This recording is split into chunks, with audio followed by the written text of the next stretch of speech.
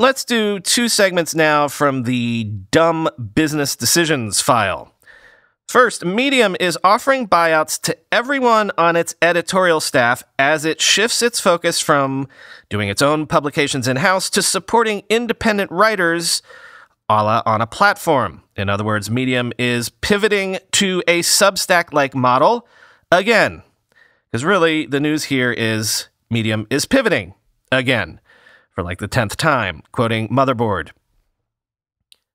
On Tuesday night, billionaire Medium CEO and Twitter co founder Ev Williams sent an email to the entire Medium staff announcing that the company would like employees charged with doing journalism to feel free to quit and that the company would, in fact, be shifting away from professional journalism altogether. Quote, We are making some changes to our editorial strategy and leadership and giving a voluntary exit option to employees who would like to take a different path, Williams wrote. The move comes less than one month after all Medium employees, including the editorial unit, attempted to unionize and lost by one vote. Employees at the company say that journalists who work at Medium's nine publications were not the initial driving force behind the union, but were some of the most vocal supporters of it. In his email, Williams announced that the company's editorial strategy would be shifting away from a focus on publications, seeking to support some, quote, more focused, high affinity publications, end quote, as part of focusing on, quote, supporting independent voices on our platform, end quote.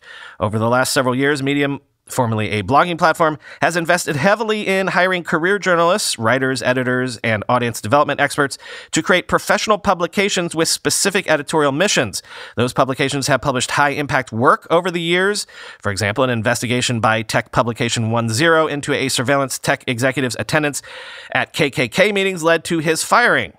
The move feels in some ways to emulate parts of the individual based strategy that Substack has championed in the past few months, offering to showcase individual writers and provide them with deals and some support.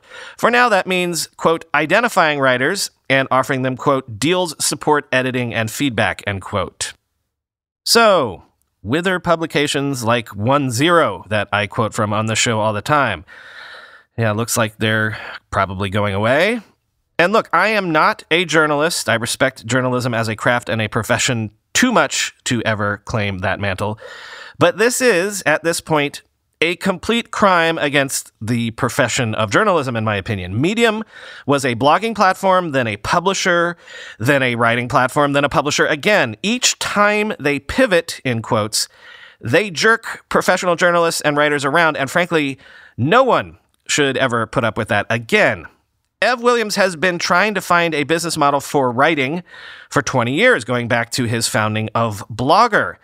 And in all this time, he still hasn't found a way to do it. I'm not saying it's an easy thing to do, but I am saying maybe no one should ever put their trust in Ev to do it ever again. In the meantime, of course, thanks to Twitter, Ev has become a billionaire. So either he has to go ahead and do the billionaire thing and just start subsidizing writers and journalists himself, or he should stop this experimentation because it's getting ridiculous. The word dilettante is considered a pejorative because it implies that your unseriousness can be harmful to others.